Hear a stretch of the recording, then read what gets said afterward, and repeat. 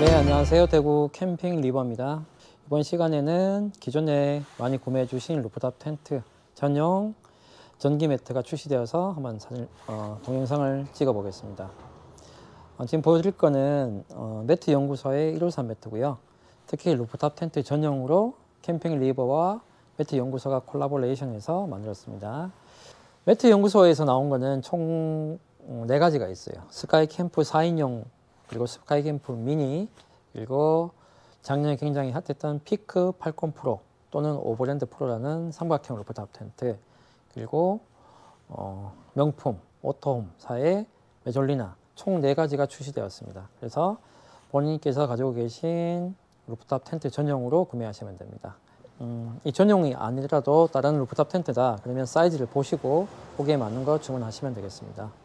구매하실 수 있는 창은 유튜브 하단에 보면 더보기가 있거든요. 거기 누르시면 네이버로 구매할 수 있는 링크가 있습니다. 거기서 구매하시면 되고요. 자, 매트 연구소에서 이번에 나온 것은 탄소 매트예요. 탄소 매트라는 것에 대해서 잠깐 설명드릴게요. 기존에 제가 어, 옛날에 쓰던 전기장판 같은 경우에는 뭐 220V로 썼는데요.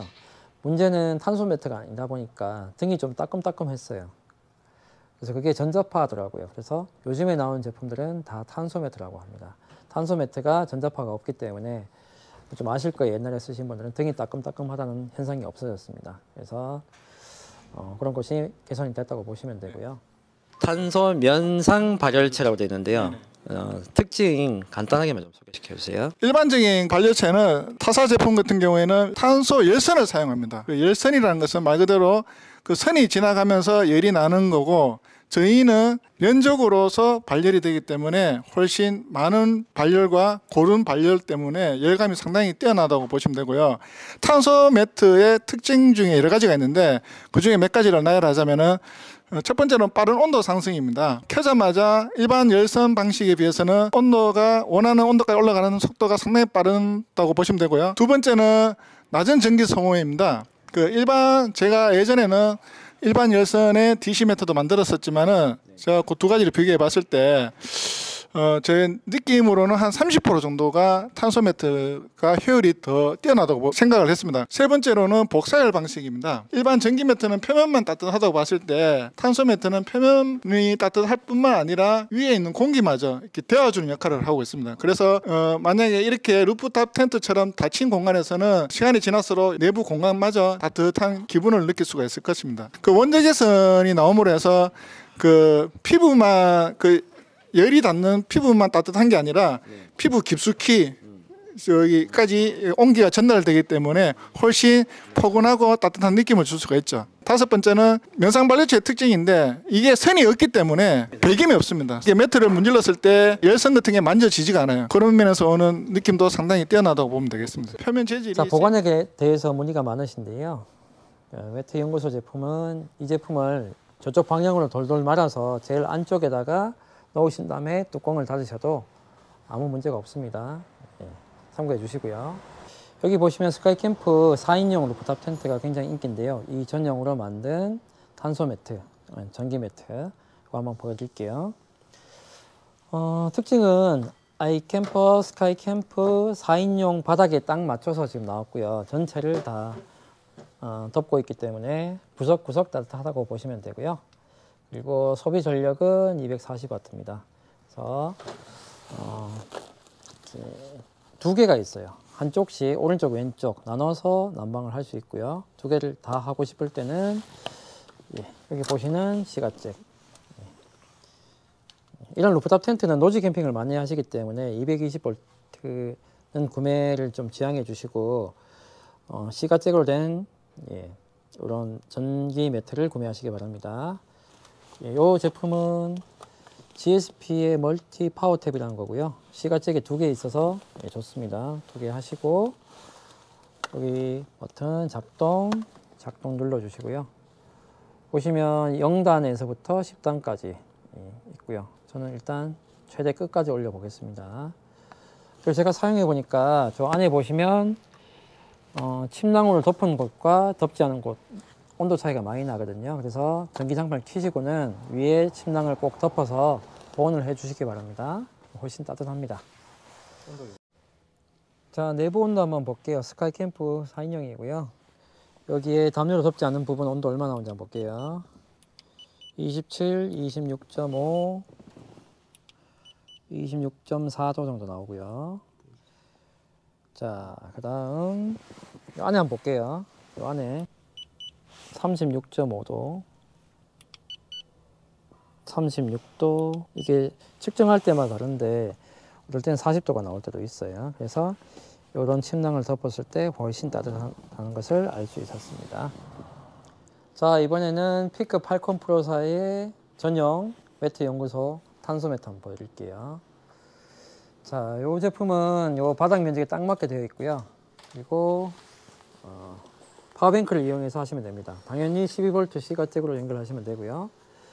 자, 뒤쪽에 보시면 예, 여기 그래서 지금 저희가 이렇게 말아놨는데 이렇게 해주시면 안 좋아요. 전선은 무조건 펼쳐 놓으셔야 됩니다. 발열될 수 있기 때문에 주의하시고요. 그리고 C가잭에다가 꽂으시고요. 버튼을 눌러줍니다. 그런 다음 여기에 전원 버튼 눌러주시고요. 작동 버튼 눌러주시고 이것을 네, 끝까지 잘 안 되네요. 다시 해야 되겠네요. 자, 이렇게 하시고 예, 작동 버튼 눌러 주시고요. 전원에서 끝까지 돌리시면 10, 예, 10단계까지 갑니다. 너무 뜨거우시면 5단계나 6단계 하시면 되고요. 일단 저는 10단계 해볼게요. 어, 이 제품 같은 경우에는 스카이캠프 4인용과 달리 그반 사이즈 되기 때문에 시가잭이 한 개만 되어 있습니다. 120W라고 되어 있는데 소비 전력이 100W 저희가 측정해 보니까 98W 정도 나오고 있어요. 그래서 안정적으로 지금 하고 지금 저희가 이게 델타 2거든요. 델타 2 10단으로 풀로 했을 때 거기는 50%에서는 4시간 정도 쓴다고 되어 있죠. 그럼 100%면 8시간 쓴다고 되어 있습니다. 이게 되시나요? 그래서 델타 2 제품은 매트 연구소 제품을 8시간 정도 쓸 수 있습니다. 하지만 100 정도는 너무 뜨거워요. 실제로는 6단 정도에서 아마 쓰실 거예요. 6단. 예. 이거는 극동계랑 지금 같은 초겨울하고는 좀 다를 거예요. 지금은 가을이죠. 이제 좀 다를 거예요. 그래서 그거 감안하시면 되고요. 그때는 사용 시간이 조금 늘어날 겁니다. 자 그리고 문의사항은 어, 전용 가방이 있어요. 전용 가방에 접어서 쓰시면 되고 이 상태로 그대로 예, 문을 닫으셔도 됩니다. 그리고 약간 이렇게 접혀도 예, 안전하니까 걱정 안 하셔도 되고요. 세탁은 가능하다고는 하는데 전기 제품은 세탁 안 하시는 게 좋아요. 추천드리지 않습니다. 궁금하신 거 있나요? 팔콘 프로에 그냥 그대로 닫아도 보관된다고 하셨죠? 예, 예 맞습니다. 그러면 사용 중에 완전히 반을 접거나 해도 뭐 상관없는 건가요? 예, 일시적으로 접는 건 상관없는데 접으면 뭐 저, 영향은 좀 가겠죠. 예, 추천드리지는 않습니다. 스카이 캠프용 전기 매트에도 에코플로우 제품을 사용해도 되나요? 아, 스카이 캠프 제품에는 스카이 캠프 4인용 같은 경우에는 2구가 나오거든요. 2구로 여기다가 어, 아답터를 해서 어, 에코플로는 1구가 있거든요. 여기다가 2구짜리를 1구로 하면 1구에서는 소비 전력이 120W밖에 안 나오거든요. 근데 스카이 캠프 4인용 같은 경우에는 근 240W 정도 나오니까 10단까지 쓸 수가 없고요. 보통 4단에서 5단까지밖에 못 씁니다. 자, 이렇게 매트 전기 매트에 대해서 알아봤는데요. 저희 캠핑 리브에 오시면 어, 잘 아시겠지만 파워뱅크가 다양하게 있어요. 기존에 잘 나가고 있는 에코플로사의 전 제품 그리고 요즘 핫한 다이팩토리사의 어, 전 제품 그리고 GSP 올인원 파워뱅크 등 다양하게 있으니까 캠핑 리버 오시면 파워뱅크와 전기장판 그리고 당연히 루프탑 텐트도 구매하실 수 있습니다. 자세한 내용은 대구 캠핑 리버로 문의하시기 바랍니다. 감사합니다.